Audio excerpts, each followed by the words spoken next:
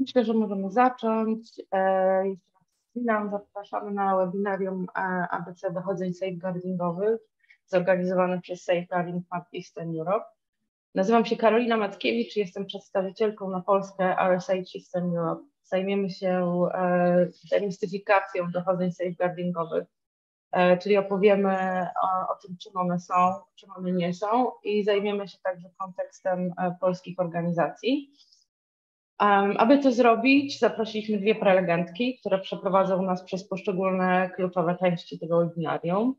Więc po, po, po, pierwsze przeprowadzę wywiad z globalną ekspertką do spraw dochodzeń w zakresie safeguardingu, Lucy Havenchaile, na temat podstaw, czyli ABC dochodzeń administracyjnych e, w sprawach safeguardingowych.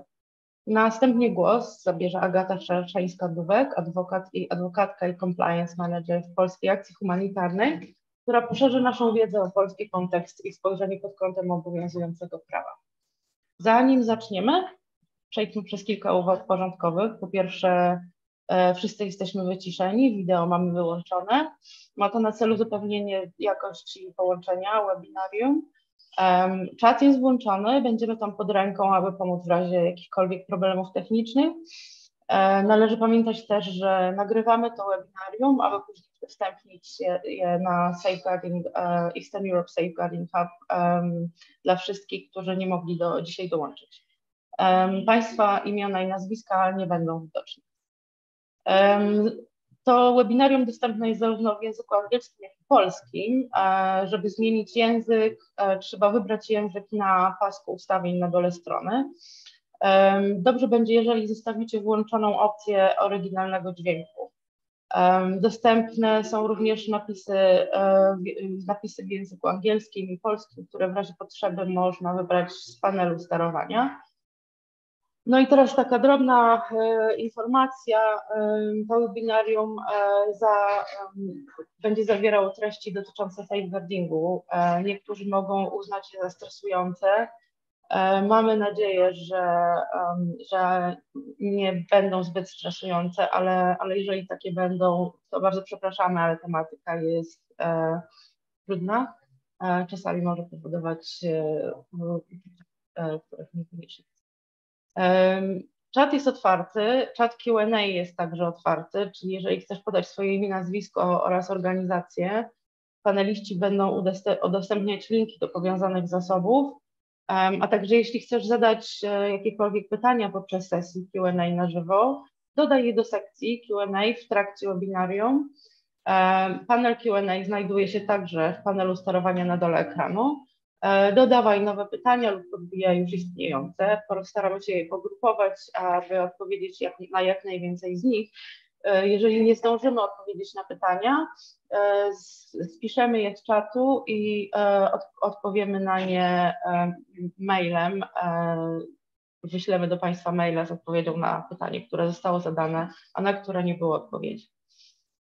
Na czacie Q&A zaraz podam również mój adres e-mail jeżeli macie więc dodatkowe pytania, proszę do mnie pisać. Jeżeli chcecie zorganizować trening, coaching albo jakąkolwiek, jakiekolwiek macie pytania z zakresu safeguardingu w Polsce, proszę piszcie do mnie, e, bardzo chętnie odpowiem, spotkam się, skontaktuję.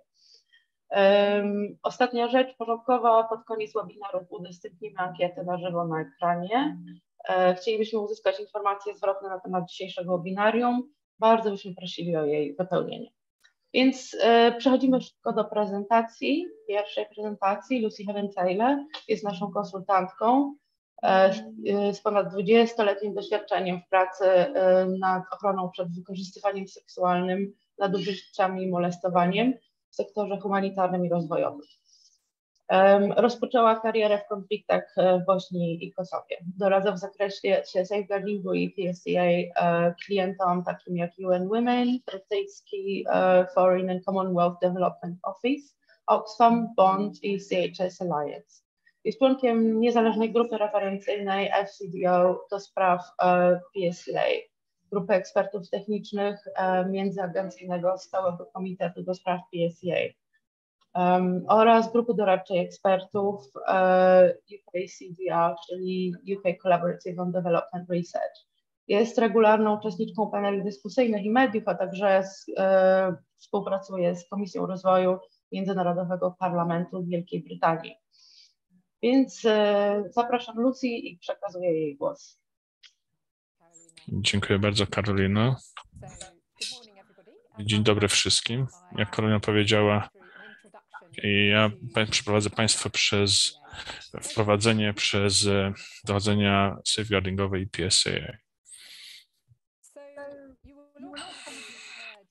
Jak prawdopodobnie Państwo słyszeliście już o e, terminologii safeguarding i PSA, co, czym jest, co to dokładnie oznacza, co pod tym rozumiemy?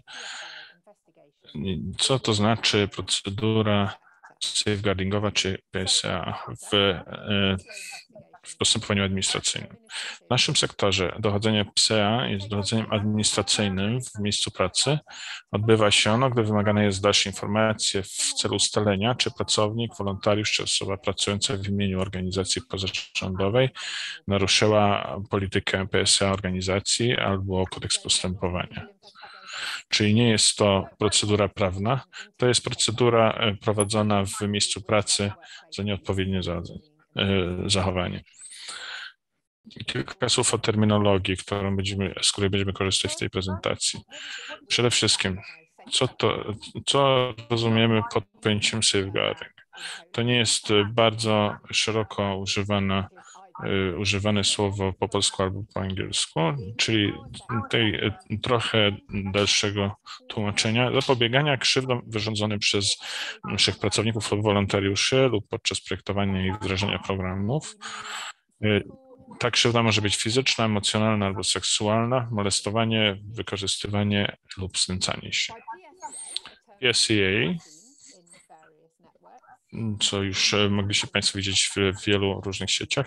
I chodzi o ochronę przed wykorzystywaniem seksualnym życiami ze strony pracowników i wolontariuszy. Czy to jest jakby część e, safeguardingu? E, specyficznie skupiający się na wykorzystywaniu seksualnym. Osoba skrzywdzona to jest osoba, która jest wykorzystywana seksualnie w inny sposób krzywdzone. Tutaj niektórzy e, e, używają innych e, słów, na przykład słowo ofiara. My tutaj preferujemy tą, tą terminologię. Niemniej osoba, która doświadczyła takiego wykorzystywania, może oczywiście korzystać z jakiejkolwiek terminologii. Skoncentrowanie na osobie skrzywdzonej tutaj życzenia bezpieczeństwa i dobrostan osób e, czy pozostaje priorytetem we wszystkich sprawach i procedurach. Czyli ponad, stoi ponad ochroną reputacji organizacji czy też e, funduszy, że jest to najważniejszym aspektem naszych działań kiedy jest e, prowadzone dochodzenie safeguardingowe czy PSA. Mówiąc o różnych e, typach e, krzywdy, które mogą być, których może, mogą się dopuścić, dopuścić pracownicy czy wolontariusze. Pierwsze pytanie zawsze jest takie, czy ten incydent potencjalnie popełniony przez e, naszego pracownika, to trzeba sprawdzić e, i, i jeśli, e, jeśli tak było, to oczywiście, oczywiście trzeba to zgłosić od razu do odpowiednich organów. Jeśli tak, to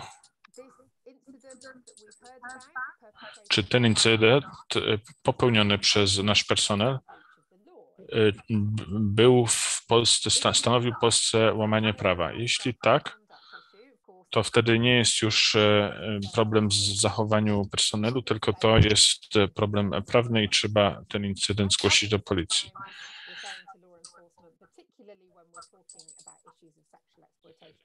Sami, jeśli mówimy o e, napaści seksualnej, może tutaj dojść do takiej sytuacji, że to nie będzie stanowić łamaniem prawa. Jeśli tak, to od razu kierujemy sprawę do odpowiednich organów.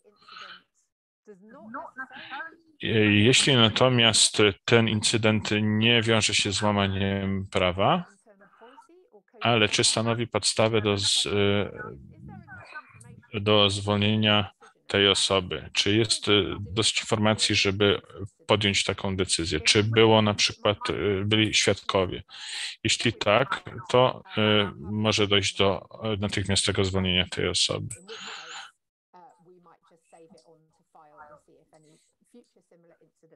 Y, jeśli tak, to można też oczywiście y, zanotować y, osobę. Jeśli nie, natomiast jeśli nie wiadomo, kto się dopuścił tego, tego działania, to wtedy dochodzenie safeguardingowe może być konieczne.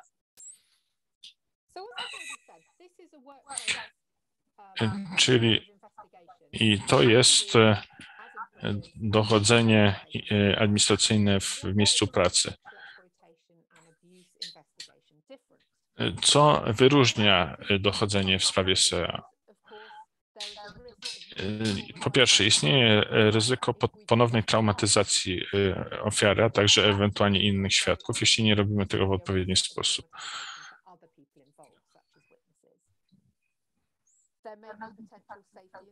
Mogą istnieć potencjalne zagrożenia dla bezpieczeństwa ofiary i innych osób zaangażowanych w sprawę, jeśli doszło do takiej e, sytuacji i e, niektórzy, e, którzy byli w, zaangażowani w to zachowanie, mogą ewentualnie zastraszać ofiary. Oczywiście, jeśli chodzi o sprawy napaści seksualnej i szydzenia seksualnego. Na przykład jeśli człowiek e, personelu, członek personelu e, napada seksualnie inną osobę z personelu, mogą być e, członkami lokalnej społeczności. W każdym przypadku mogą mieć zastosowanie różne zasady i zobowiązania prawne.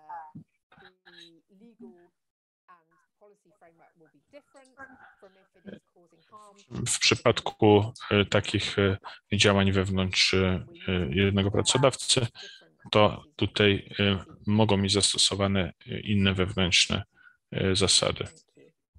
Czyli jak przeprowadzić takie dochodzenie? Po pierwsze, trzeba przejrzeć rolę i odpowiedzialności. Będą dwie różne po pierwsze będzie kierownik dochodzenia, czy nawet w większych organizacjach może to być zespół. Ich odpowiedzialnością jest e, zlecenie dochodzenia, opracowanie zakresu zadań, zapewnienia wsparcia dla zespołu dochodzeniowego i zatwierdzenie sprawozdania z dochodzenia po jego otrzymaniu i podjęcie odpowiednich decyzji. E, natomiast rola zespołu dochodzeniowego, ja tutaj polecam, żeby były w tym e, zespole co najmniej dwie osoby, to jest przeprowadzenie dochodzenia e, zgodnie, zgodnie z dokumentami dostępnymi, screenshotami, na przykład w korespondencją WhatsApp i tak dalej. Przeprowadzenie wywiadów z osobami dotkniętymi oraz z ewentualnymi świadkami, sporządzenie raportu. Pod koniec dochodzenia sporządzą raport z analizą istotnych informacji. Dlaczego te dwie role są oddzielone od siebie? Oczywiście z, z powodów przejrzystości jest warte, że, ważne, żeby osoba, która podejmuje decyzję, była inna niż osoba, która zbiera informacje. Więc to się dzieje normalnie podczas e, takiego dochodzenia. Po pierwsze, kiedy słyszymy o takim incydencie safeguardingowym USA, bez względu na to, jakie będzie jaki będzie wynik e, przeprowadzonego dochodzenia. Trzeba osobie skrzywdzonej oferować wsparcie. E, potem trzeba przydzielić role i obowiązki, jak w poprzednim, poprzednim slajdzie. I potem opracowany zostaje zakres obowiązków i zespół rozpocznie swoją pracę. Przeprowadzą wywiady, jak już o tym mówiłem, przeanalizują je, informacje otrzymane, napiszą w końcu raport dochodzeniowy i przedstawią jakieś sugestie dla szefa dochodzenia odnośnie decyzji do podjęcia. Czym jest dochodzenie skoncentrowane na osobie skrzywdzonej, czyli żeby ta osoba była w centrum naszego działania. Ponieważ jest to procedura przeprowadzona w miejscu pracy, osoby skrzywdzone są ekspertami swojej własnej sytuacji. Organizacje powinny rozważyć, czy dochodzenie jest potrzebne, czy są inne opcje, e, które można podjąć. Dochodzenia powinny być prowadzone ze świadomą zgodą osoby pokrzywdzonej osoby te mogą zadecydować, czy chcą e, brać udział w postępowaniu, czy nie. Tutaj wyjątkiem są e, sprawy prowadzone w spraw dzieci do 18 lat. O tym zawsze trzeba poinformować e, organy państwowe, bowiem to leży w interesie pokrzywdzonego dziecka. E, może e, osobie towarzyszyć, e, osobie skrzywdzonej towarzyszyć osoba wspierająca, jeśli ona sobie takie życzy. Dochodzenia muszą być prowadzone zgodnie ze standardami w sektorze. Mogą one być, znajdują się one na naszej stronie internetowej i powinny przeprowadzić personel przeszkolony w tym zakresie. Podjęcia decyzji E, należy zastosować zasadę rachunku prawdopodobieństwa. Więc czym jest rachunek prawdopodobieństwa? To jest e, próg, o którym decydujemy, że powyżej niego doszło do incydentu. E, w przypadku dochodzenia w miejscu pracy, to rachunek prawdopodobieństwa jest takim progiem. Na podstawie tego decydujemy, czy się coś wydarzyło, czy w ogóle nie. Różni się to od progu prawnego, bo tam chodzi zawsze o y, pewność ugruntowaną, y, bez, bez uzasadnionej wątpliwości. Natomiast w przypadków e, napaści seksualnych czy krzywdzenia seksualnego e, taka pewność ponad uzasadnioną wątpliwość jest niezwykle trudna do, osiągnięcia. Niektóre organizacje, między innymi Organizacje Narodów Zjednoczonych, korzystają z tego terminu i to znaczy, że mają wyższy raunek prawdopodobieństwa. Mamy trzy konkluzje, które powinny być e, osiągnięte.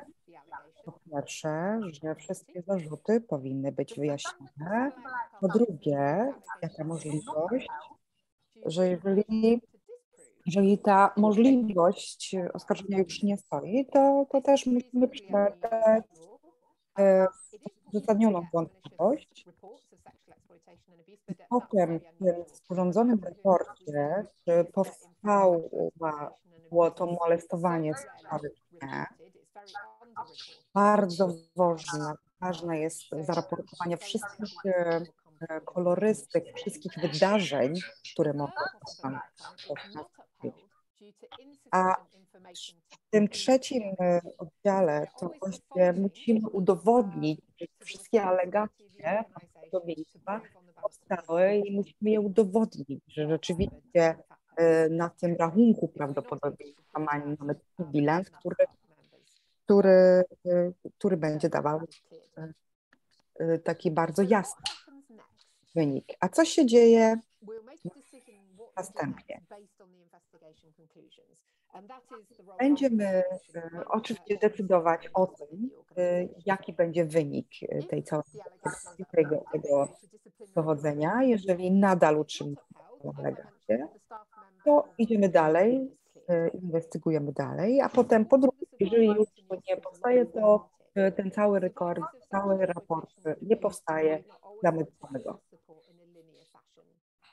And, a jeżeli ta trzecia, idziemy dalej okazuje się, że jest więcej prawdopodobieństw, że to powstało i na przykład nie minęło więcej niż trzech miesięcy po tym incydencie, to, to możemy sięgnąć po pierwszą pomoc. A, a bardzo ważne jest dawanie bezpieczeństwa i, i pewnej pomocy dla, dla tej osoby, która przeżyła ten incydent.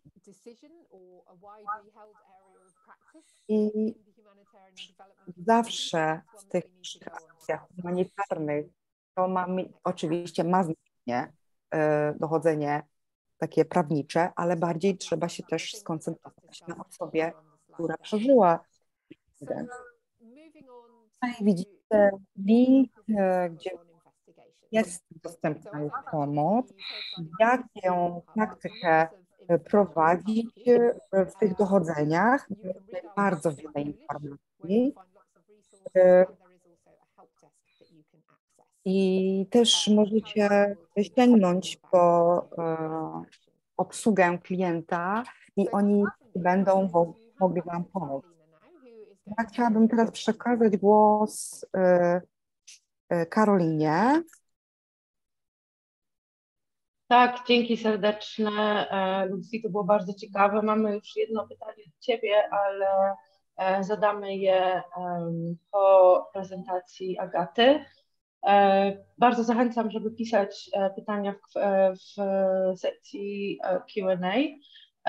A teraz przechodzimy na czas na prezentację Agaty Szerszeńskiej-Dubek. Jeszcze raz przypominam, jest ona adwokatką compliance manager Polskiej Akcji Humanitarnej. Wcześniej Associate Deloitte Legal w Polskiej Akcji Humanitarnej odpowiada za wdrożenie standardów safeguardingowych i pasjonują ją prawa człowieka. Zapraszamy Agata, prosimy o prezentację. Dziękuję Karolina, bardzo dziękuję za przedstawienie, bardzo dziękuję też Lucy za ciekawą prezentację. E, ja w swojej e, krótszej prezentacji postanowiłam skupić się na zagadnieniach e, wynikających z naszego polskiego prawa, ale oparłam je też o te rzeczy, które powiedziała Państwu Lucy. Mam nadzieję, że będzie to dla Państwa ciekawa dawka nowych informacji. Poproszę o następny slajd. Jak mogli Państwo usłyszeć podczas prezentacji Lucy, w tym opartym o osobę E, której jakaś nieprawidłowość dotyczy systemie, bardzo ważny jest problem świadomej zgody. E, czyli żeby prowadzić to postępowanie, jeżeli decydujemy się, że ono jednak będzie prowadzone wewnętrznie, e, to potrzebna jest taka świadoma informed consent, poinformowana zgoda, czyli zapewnienie też tej osobie wszelkich informacji, żeby mogła taką świadomą zgodę podjąć. Ale właśnie, jak również powiedziała Lucy, czasami niemożliwe jest dla nas podjęcie tej decyzji, że sprawę badamy w środku, y, tylko jest, leży na nas, ciąży na nas obowiązek poinformowania y, odpowiednich organów. I dlatego moim zdaniem bardzo ważne jest w naszym polskim kontekście, żeby już podczas pierwszego kontaktu z osobą potencjalnie poszkodowaną wskazać jej, że w niektórych sytuacjach sytuacjach przekazanie informacji, które od niej dostaniemy, będzie oznaczało, e, że będziemy zmuszeni do dokonania zawiadomienia o możliwości popełnienia przestępstwa. No i kiedy będziemy mieli taką, taki obowiązek? E, przede wszystkim e, główny przepis, który tego dotyczy, mówi o społecznym obowiązku zawiadomienia o możliwości popełnienia przestępstwa. Poproszę o następny slajd. I e, ten, następ, e, ten obowiązek społeczny to jest nic innego niż to, że każdy, kto dowiedział się o popełnieniu przestępstwa, które jest ścigane z urzędu, proszę pamiętać, że większość przestępstw natury seksualnej już nie jest e, ściganych na wniosek, tylko właśnie z urzędu, ma społeczny obowiązek o tym, żeby zawiadomić o tym prokuraturę albo policję.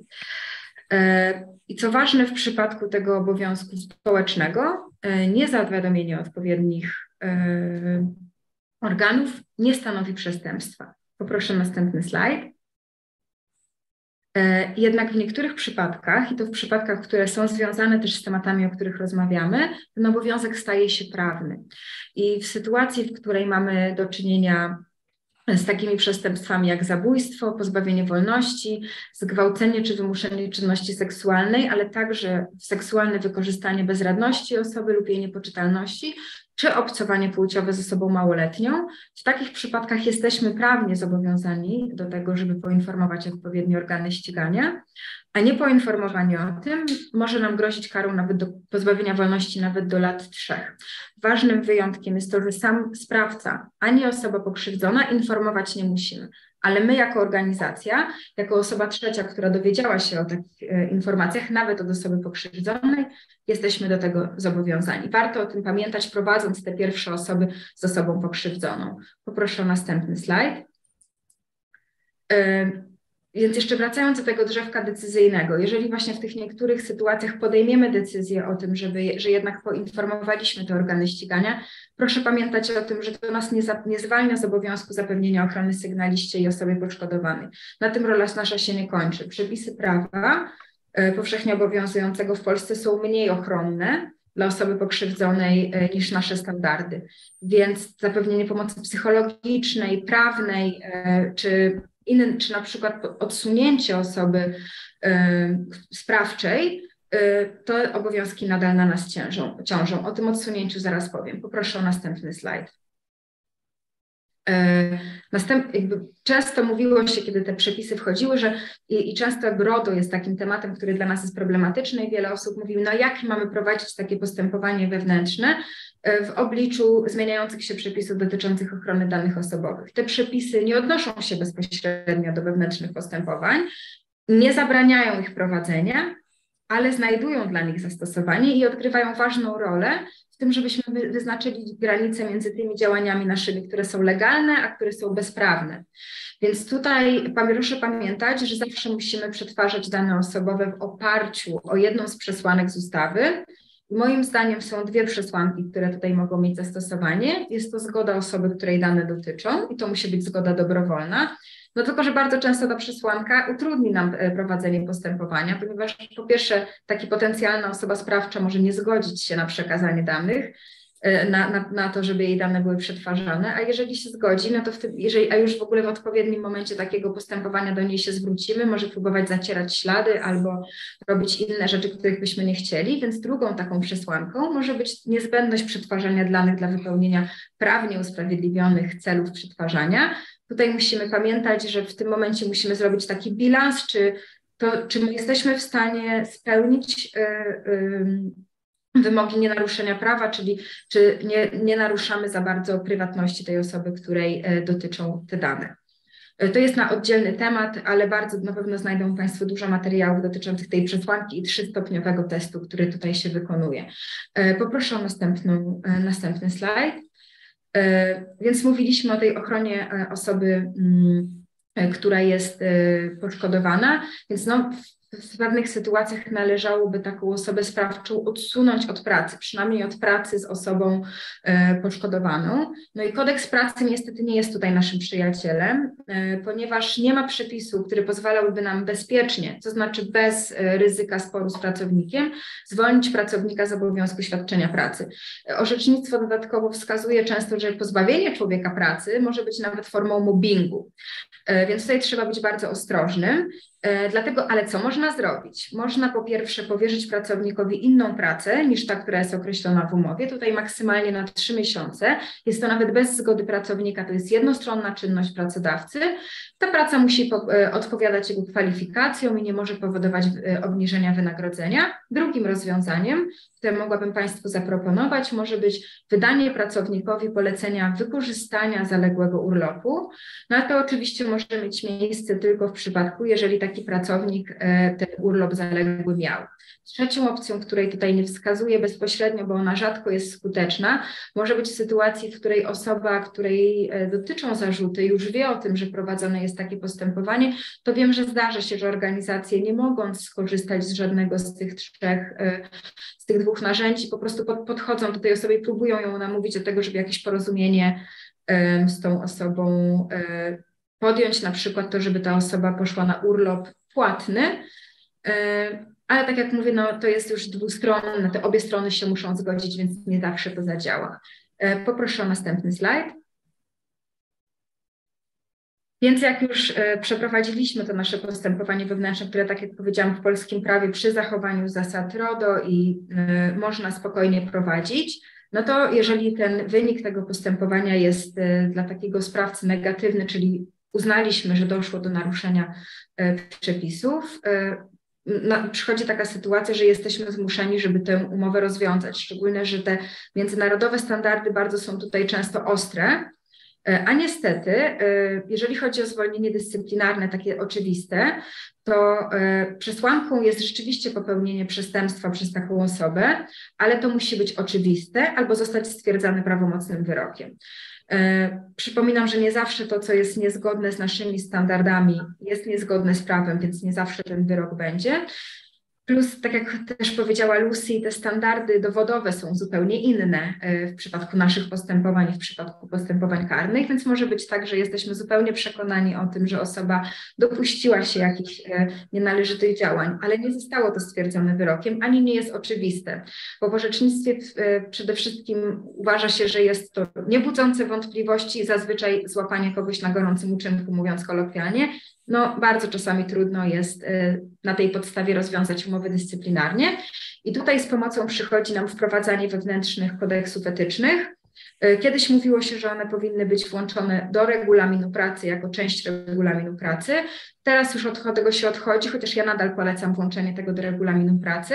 Na pewno muszą być one wprowadzone decyzją pracodawcy, z jakimś zarządzeniem co najmniej, no i w nich warto wskazać sytuacje, w których uważamy, że naruszenie tych zasad będziemy traktować jako naruszenie podstawowych obowiązków y, pracownika i że będzie to skutkowało rozwiązaniem y, umowy o pracę.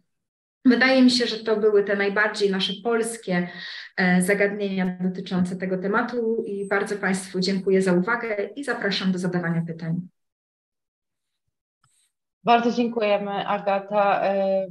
Agata ma e, ogromną wiedzę, jeżeli chodzi o polski kontekst e, wszystkiego, co związane z safeguardingiem. Jeszcze raz zapraszam do zadawania pytań. Pierwsze pytanie, które e, zadał Pan Adam, dotyczy pierwszej prezentacji, prezentacji Lucy i to ją poproszę o odpowiedź, jeśli można. Dotyczy to tego, tego, tego tematu um, rachunku prawdopodobieństwa, czyli z tego, co ja rozumiem, co pan Adam, o co pan Adam pyta, e, czy rachunek prawdopodobieństwa um, oznacza, że nie czekamy na pełno, że nie czekamy na to, jakby na pełen dowód, na pełnię e, dowodów, czyli rozumiem, że nie upewniamy się do końca, a już na zasadzie rachunku prawdopodobieństwa jesteśmy w stanie wydać e, jakąś decyzję wewnętrzną administracyjną. Lucy, czy mogłabyś e, spróbować odpowiedzieć na to pytanie? Czy ja mogę odpowiedzieć na to pytanie, Karolino? Właśnie tak, Lucy prosi, prosiłam Lucy o odpowiedź na pytanie. Jeśli...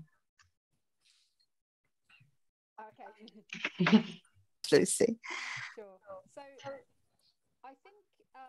Więc myślę, że pytania, pytanie Adama, pana Adama jest o prawdopodobieństwu, prawda, że zdarzyło, że nie będziemy czekali do pełnej e, oczywistości zdarzenia, a to to znaczy, że investigacyjny, czyli dochodzeniowy, e, to są będą analizowały, ten team będzie analizował y, to wydarzenie jako prawdopodobne wydarzenie i oni po prostu dadzą, podadzą decyzję, co, co dalej zrobić. Czy będziemy jakiekolwiek inne, dalsze działalności podejmować. I jest bardzo ważne, że to która jest ta informacja, która według tego zespołu, do którego jest najbardziej ważna, żeby to szerzej Wam e, e, pokazać.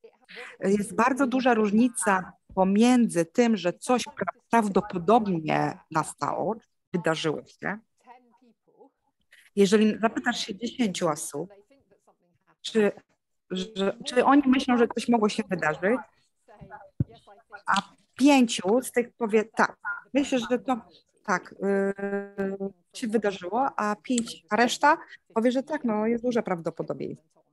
Tu mamy te dwa bardzo ważne, różne odpowiedzialności, podejścia chodzenia. I na podstawie tej bardzo ważnej informacji, które bierzemy, to musimy na wadze na wadze tego, czy to, to, to prawdopodobieństwo ma większą miarę, e, to już to nie może być takim, e, takim przekonaniem, że tak przechodzi przez nasze myśli, to musi być takie spełnienie niemalże. Nie zapomnijmy o tym, że to będzie dochodzenie takie wewnętrzne w miejscu pracy. Więc może będziemy musieli to, to przeprowadzić, że będziemy tak daleko musieli to przeprowadzić, że to będzie do, prowadziło do takiego dyscyplinarnego wydalenia z pracy. E, tak, jeżeli mogę, to chętnie bym coś do tego dodała, dlatego Karolino, czy mogę e, zabrać głos tutaj na to pytanie, też odpowiedzieć? No pewnie, oczywiście, że tak. E, super. Proszę Państwa, to nie jest standard dowodu, który przychodzi gdzieś z zewnątrz, który nie jest nieznany. W ogóle on jest stosowany przy takich właśnie wewnętrznych postępowaniach wyjaśniających, e, które dotyczą też e, zagadnień finansowych wśród pracodawców. Często sąd, sądom wystarczy też w sprawach e, o mobbing, bo proszę pamiętać, że takie wewnętrzne postępowania też w takich sprawach się prowadzi. I on właśnie absolutnie nie oznacza, tak jak powiedziała Lucy, że wydaje nam się, że tak jest, bo już więcej nie szukamy, tylko proszę pamiętać, w prawie karnym, które ma znacznie silniejsze implikacje nawet niż postępowanie cywilne, w anglosaskich niektórych systemach cywilnych też jest ten balance of probabilities. To po prostu oznacza, że jeden malutki element dowodu wskazuje nam, że potencjalnie, nawet jeżeli nie jest to bardzo prawdopodobne, sytuacja mogła potoczyć się inaczej. Tutaj tak nie jest. Więcej elementów dowodowego materiału ma wskazywać na to, że to się stało, niż odwrotnie. A jako, że właśnie, jeszcze powiem, te konsekwencje mhm. ewentualnego wydalenia z pracy są mniej stanowcze niż e, postępowanie karne, dlatego po prostu zdecydowano e, się na taki, takie rozwiązanie. Dzięki Agato i chyba do Ciebie będzie następne pytanie. Um, pomijam oczywiście pytanie od Julii Kochanek z Mapuj Pomoc, która chciałaby Cię poprosić o prelekcję, ja Was skontaktuję po e, webinarium, to już będziecie sobie może bezpośrednio um, się umawiać. Ale pytanie do Ciebie głównie Agato e, od Pani Alicji. Jak należy postępować w przypadku, kiedy mimo największych starań anonimowość osoby pokrzywdzonej lub osoby sprawczej nie została zachowana podczas dochodzenia? Jakie czynności powinniśmy podjąć, żeby objąć te osoby właściwą opieką bądź ochroną? Agato, możesz nam na to jakoś odpowiedzieć? Y, trudno mi się odnieść do tego pytania, bo to już bardziej dotyczy jakichś organizacyjnych kwestii, że w organizacji to nie zadziałało. W mojej organizacji y, za każdym razem, kiedy prowadzimy takie y, postępowania, to Zawieramy klauzulę poufności dodatkową dla osób, które są w takim zespole, więc też jakby niezachowanie tej, e, tych obowiązków z tej klauzuli, to też jest naszym zdaniem naruszenie podstawowych obowiązków pracowniczych, więc taka osoba, która by to rozpowszechniła, oczywiście też musi liczyć się z konsekwencjami, ale oczywiście zdaje sobie sprawę z tego, że no prowadzimy te rozmowy, prawda? Jakie mamy możliwości? Oprócz tego, że mamy materiał źródłowy, czyli pobieramy jakieś maile, wymianę wiadomości, no to oczywiście rozmawiamy z osobami. Niemożliwe jest, że jeżeli rozmawiamy z tymi osobami na szeroką skalę, oczywiście takie osoby też zobowiązujemy do zachowania poufności, ale tych osób jest dużo, więc to może nam się rzeczywiście trochę rozpaść. E, więc dlatego z tej przyczyny, oprócz tego, że możemy mieć te klauzule, dyskusje, klauzula to tej prawne rozwiązanie, dlatego warto jest czasami tę osobę sprawczą odsunąć od pracy, tak jak mówię. E, no i szkolenia. Ja powtarzam zawsze w mojej organizacji, że zgłaszajcie do nas wszelkie podejrzenia, nie sprawdzajcie na własną rękę, bo jeżeli ta osoba niczego się nie dopuściła, a to gdzieś rozejdzie się taka plotka po organizacji, to takiej plotki jakby nie zawrócimy. Ludzie będą zawsze uważali, że gdzieś tam jest jakieś, jakieś e, ziarno prawdy. E, chociaż prawda jest taka, no, że jeżeli osoba pod koniec postępowania, no to jasne jest dla tych osób, które są w to e, zaangażowane, kto był osobą sprawczą, no i kto był osobą, której to dotyczyło, ponieważ my nie trzymamy do tego do końca tej osoby, tej osoby sprawczej w, nie, w niewiadomej sytuacji, prawda? Jesteśmy też transparentni w stosunku do niej po zakończonym postępowaniu, jeżeli mają zostać podjęte kroki dyscyplinarne, to oczywiście ta osoba wie, e, jaki był ten powód, szczególnie, że jeżeli wypowiadamy umowę o pracę, no to w tym dokumencie rozwiązującym taką umowę też musimy wszystkie informacje przekazać. Ja nie wiem, czy to odpowiada na pytanie, bo ono jest bardzo szerokie. E, dziękuję. Dzięki Agato. Jest drugie do Ciebie pytanie, z tego co rozumiem od Pana Adama, jak ułożyć kodeks etyczny bez oskarżeń o dyskryminację. Myślę, że to troszkę e, wy, e, wychodzi poza tematykę naszego spotkania. Jeżeli chciałabyś dwa zdania powiedzieć, to zapraszam. A jeżeli chodzi o układanie e, kodeksu postępowania, e, to są e, na naszej stronie, jest mnóstwo literatury na ten temat, spróbujemy podzielić się tym na, na czacie, od razu przesłać linki. Ale jeżeli Agata masz coś do dodania w kontekście tego pytania, to, to zapraszam Cię serdecznie. Tutaj oczywiście rozmawiamy o tych zasadach kodeksu etycznego, które dotyczą wykorzystania seksualnego. Tak. I trudno mi sobie wyobrazić, żeby te zasady były dyskryminujące. Niektóre zasady mogą być trudne. Nie wiem, na pewno uczestniczyli Państwo, jeżeli są Państwo zainteresowani postępowaniami safeguardingowymi, także w szkoleniach dotyczących samych zasad, jakie są w naszym sektorze. I jest tam rzeczywiście kilka postępowań, które dla prawnika polskiego mogą wydać się e, kontrowersyjne, na przykład to, że mamy bardzo wysoki e, wiek zgody ale moim zdaniem to jest wszystko do obronienia. Chronimy osoby beneficjenckie, więc jakby nie ma tutaj problemu. Ja się nigdy nie spotkałam z sytuacją, w której byłoby to problemem. E, że te nasze zasady są za ostre, szczególnie, że stosujemy je do wszystkich osób. Nie wiem, gdzie inaczej on mógłby być dyskryminujący, no chyba w tym, że nie, zatrudni, nie zatrudnialibyśmy osób, które powiedzmy były skazane za jakieś przestępstwa, no to też jest temat na dużo inną, bardzo długą dyskusję. Spokojnie da się, bo zarówno firmy, jak i organizacje układają bardzo długie i złożone kodeksy etyczne i są one zgodne e, z zasadami prawa pracy, w tym z zasadą niedyskryminacji. Tych samych traktujmy tak samo. Dzięki. I Lucy chciała dodać coś z tego, co widzę, podniosła rękę. Zapraszamy, Lucy. E, e, oczywiście ja się zgadzam z Agatą, tylko bym dodała kilka rzeczy. Jeśli chodzi o, o kodeks postępowania dla pracowników w organizacji, w firmie,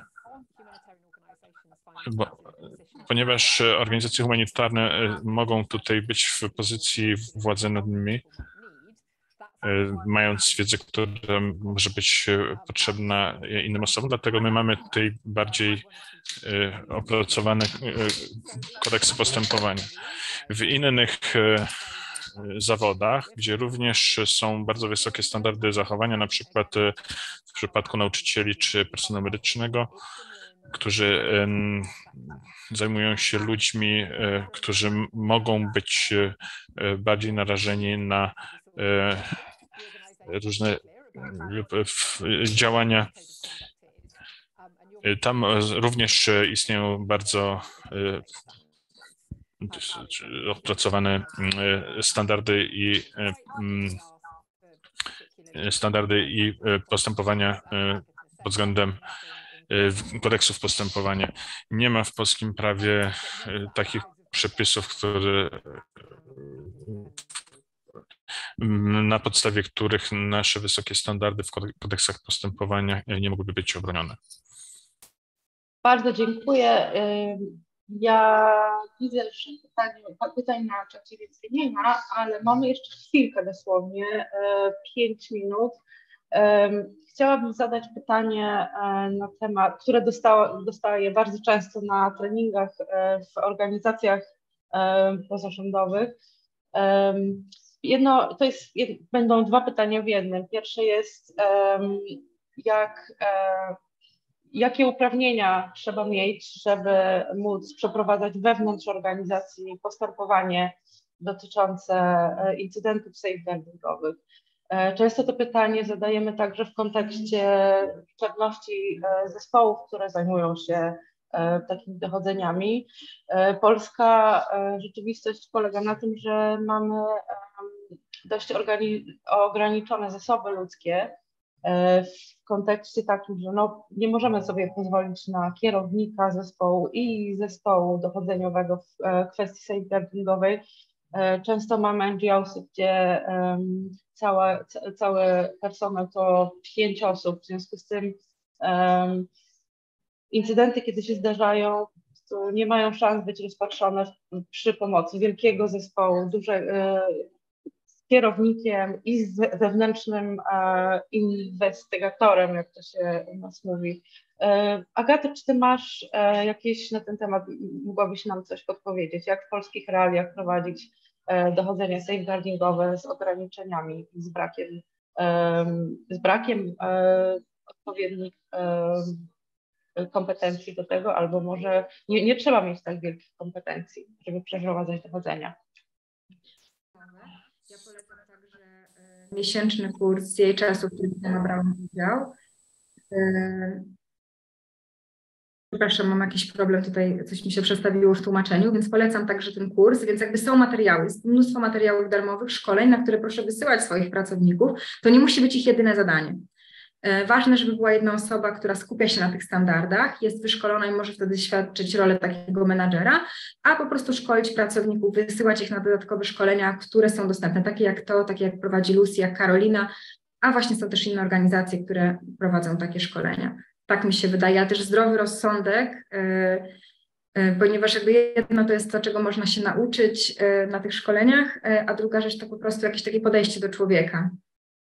A y, y, Julia Bochenek y, prosi o to, żebyś powtórzyła jaki kurs, bo przerwało, właśnie mieliśmy ten problem z tłumaczeniem. Także nie wiem, czy ja mogę podawać nazwy konkretnych kursów, bo to nie był jakiś marketing. Ale e, tematykę. E, tak, to są takie dostępne, można znaleźć łatwo w internecie szkolenia z e, prowadzenia takich dochodzeń safeguardingowych, zakończone w ogóle certyfikatem, więc żeby Państwo czuli się pewniej. Ja też czułam się niepewniej, całą swoją wiedzę, wiedzę brałam z otwartych szkoleń żeby tak jakby potwierdzić przed sobą i też przed osobami, które mogłyby potem powiedzieć, czy nasza organizacja ma odpowiednio wyszkoloną osobę, wzięłam udział w takim szkoleniu, są bardzo ciekawe, no i też to jest zakończone testem oraz certyfikatem. Po takim teście sam człowiek może poczuć się pewniej, że rzeczywiście jakąś wiedzę na ten temat ma. Ja rozumiem, że e, co do liczebności zespołu, to to, co Lucy wcześniej wspomniała, to zespół może dobrze byłoby, gdyby stanowił e, powiedzmy więcej niż dwie osoby, żeby zachować też zasadę, no, e, żeby nie było 50 na 50. E, Lucy, czy chciałabyś dosłownie w trzy, minuty coś dodać, do, szczególnie do na przykład do liczebności zespołów, które, które mogłyby w ramach organizacji brać udział w. Czy to rzeczywiście musi być ogromny zespół, bo to wygląda na dużą formalną akcję, a może być, e, a czy może to być mniejszy zespół e, w mniejszych organizacjach? Dziękuję, Karolina. Nie słyszałem e, pierwszej części odpowiedzi na pierwszą, pierwszej części odpowiedzi Agaty, ale jeśli jesteście Państwo małą organizacją, w której jest tylko kilka osób, to oczywiście też trzeba zapewnić, żeby to były dwie różne. Mm, e, można też sprawdzić inne e, organizacje, czy oni mają osoby przekształcone potem w tym zakresie. Istnieje konsult, istnieją konsultacje pod tym zakresem, istnieją strony internetowe z materiałami. Nie ma też wielkiego kosztu z tym. Wiemy, że to może być trudne, żeby nabyć e, takie e, kompetencje.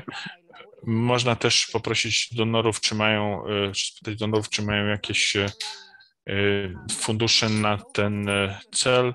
Czasami są bardzo zaangażowani, żeby zapewnić rozwiązanie dla takich problemów. Jeśli jest taka możliwość, to z pewnością zapewnią fundusze na to. Na przykład e, Biuro Koordynacji e, Spraw Humanitarnych e, ma system dopłat na takie cele i na pewno są też inne fundusze, które są dostępne. Czyli fundusze mogą być zapewnione na to donorów.